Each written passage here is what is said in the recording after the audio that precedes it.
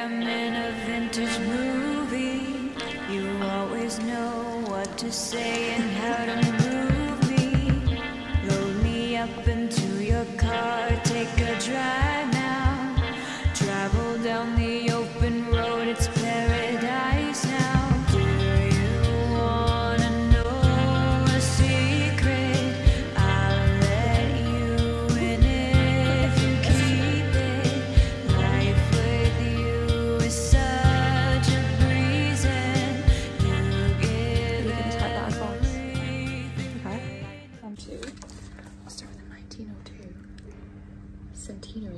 Centenary Nice.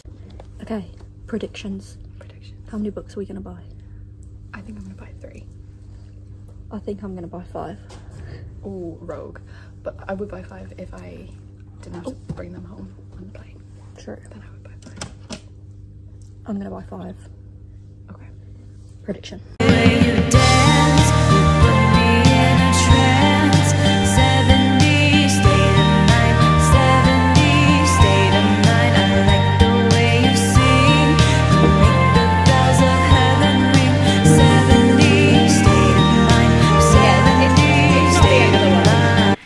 It's literally been like a month, I think, since I filmed those last clips and went to London and met up with Em and I'm only just now filming the book haul because I've only just got the chance now. Um, so, you will have seen from the clips that I went to London, met up with Em from Perfect Paperbacks, my bestie who I always meet up with um, and we went book shopping in London and it was such a good day. I think I said in the clips that I was planning on buying five books. I ended up buying six. Um, very successful day. I've actually already read three of them so good for me. Um, but I'm just going to show you what books I bought in London. The first book I picked up was Indigo Ridge by Devney Perry. I actually, hold on, first of all, I bought all of these books from Waterstones Piccadilly, um, which is a huge Waterstones, and it was really cool there. Um, so I couldn't help but pick up six books. I didn't buy books from anywhere else. So yeah, the first book I picked up is Indigo Ridge by Devney Perry. I was actually reading this book at the time that I went to London um, and I really wanted it physically. I hadn't seen it physically before and they had it in Waterstones. That Waterstones was the, it was the best romance section in a Waterstones that I've ever seen. It was so good and they had so many good books. Um, so I picked up Indigo Ridge. This is the first book in the Eden series um, and it's basically like a romance and also a like mystery series. so this one follows um, Griffin, who is one of the Edens, and Winslow, who is the new chief of police. It's like a small town. The Edens sort of like run the town. Everyone knows the Edens. Um, so yeah, it was a romance between Winslow and Griffin. Along with, obviously she's the chief of police, there was like a murder mystery alongside it as well. Um, this book was really good. I think I gave it four stars, maybe even five. I think I gave it four. Um, but yeah, I do want to get the rest of the books in the series, but like I'm in the middle of so many series right now that I don't know when I'm ever going to get to this. And then I got The Kiss of Deception by Mary E. Pearson. I think this is a YA fantasy. I honestly haven't heard much about it. All I know is that Sarah likes it and that was enough to convince me. Um, it says, in a society steeped in tradition, Princess Lia's life follows a preordained course. As first daughter, she's expected to have the revered gift of sight, which she doesn't, and to happily marry a prince she has never met, which she won't. On the morning of her wedding, Lia flees to a distant village. She settles into her new life, hopeful when two mysterious and handsome strangers arrive, and unaware that one is the prince she was meant to marry and the other an assassin sent to kill her.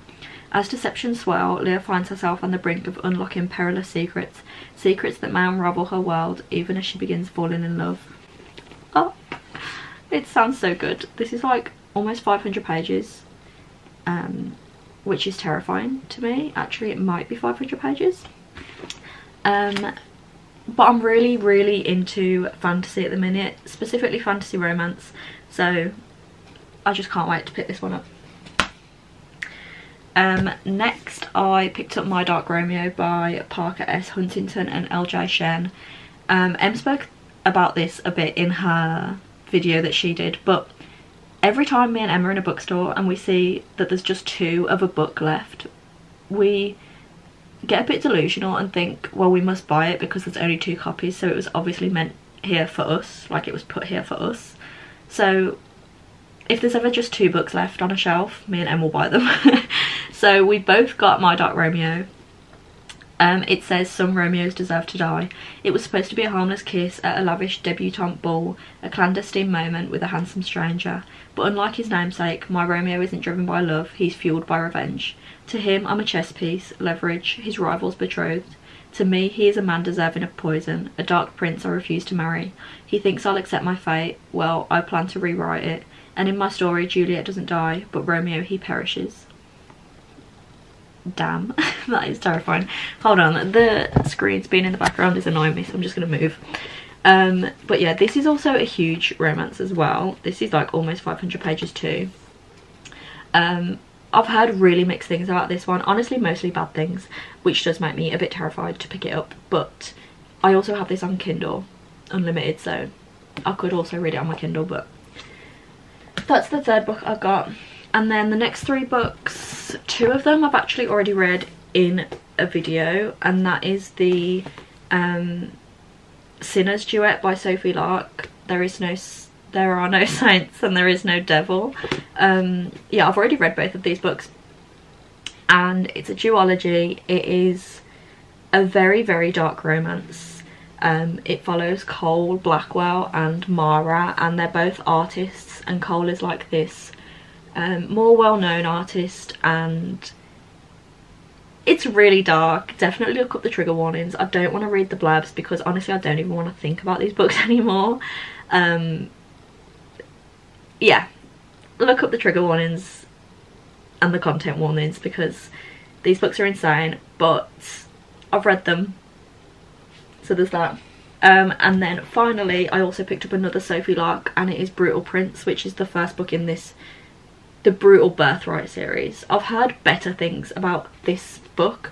I actually hadn't heard anything about the Sinners Duet, but I have heard a lot about this series. I think it's a Mafia series, um, Mafia Dark Romance. I've actually heard great things about this series, so we'll see if it's better than the other one. Um, it says the Griffins and the Gallos have been battling for control of Chicago's underworld for generations. Their rivalry has always been flammable, but it reignites with a fury when Aida, the youngest and wildest Gallo sibling, crashes a party at the Griffin mansion and accidentally sets fire to the library. To stave off an all-out war, her father quickly arranges a marriage between her and Callum Griffin, eldest son and heir to the Irish Mafia. Mafia. Cold and ambitious and brutal, Callum is determined to tame his headstrong new bride, but Aida is more than capable of giving as good as she gets, starting with poisoning Callum on their wedding night. The problem is, murdering him would be a lot easier if he didn't look so good while she was trying to do it. She's got a lockbox around her heart, he's got something to prove. In their struggle for dominance, who will go up in flames first? Okay, this book actually sounds very good. It sounds better than the other series um, by Sophie Lark that I read. I honestly don't know if it's as dark. Please, if you've read this, please let me know how dark it is. There's no content warnings in the beginning, which gives me hope, so we'll see. But also the cover is just stunning and I really would love to have all of those books on my shelf because it would just look so good. These are the six books that I bought in London with Em. I really love book shopping in London but it's so hard to get them all home because I live like two hours away from London.